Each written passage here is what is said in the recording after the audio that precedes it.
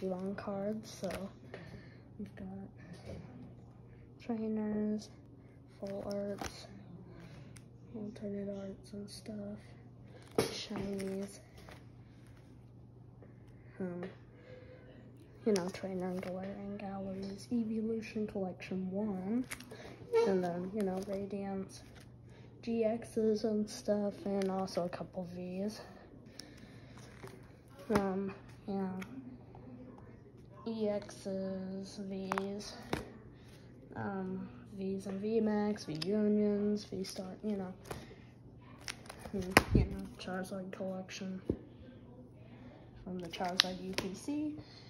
Um, bunch more Vs. Um, Pikachu Libre, entire Pikachu collection, um, older cards, and holos, and more random stuff. Flip through. We got my new Scarlet and Violet collection. I got these cards at pre-release. Um, entire Evolution collection and Bolt and Zeraora collection. Big Crown Zenith collection. I also got the Alyssa Sparkle and also Pikachu and these.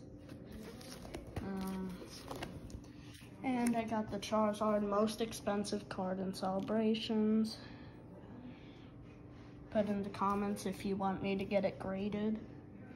Um, Mew, other random cards like Celebi V, alternate art, also Sandaconda V, and Rotom.